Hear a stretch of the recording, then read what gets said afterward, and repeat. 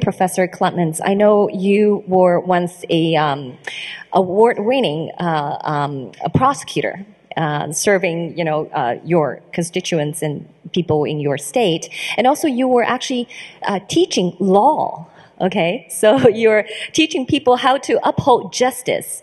So when you heard that Miles was locked away, you know, um, on March 15th, 2023, based on a completely fake allegations, what was your thinking at that time? Well, it, it shows you that the, the deep state is, they're out of options. The last thing that they, that they do is they throw people in cages because they can't beat the truth. And so the truth has been on the side of Miles Guo for, for years, and he's such a liability for a corrupt DOJ, corrupt FBI, you name it. So uh, it was painful to watch because as a former prosecutor, I went after real criminals.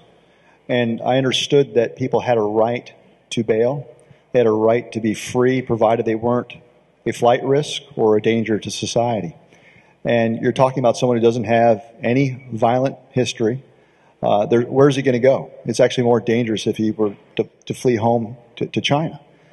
Um, so, based on those two things, uh, he should be out today. And more importantly, when you see the disparate treatment between him and Sam Bankman Fried with similar charging, he's out.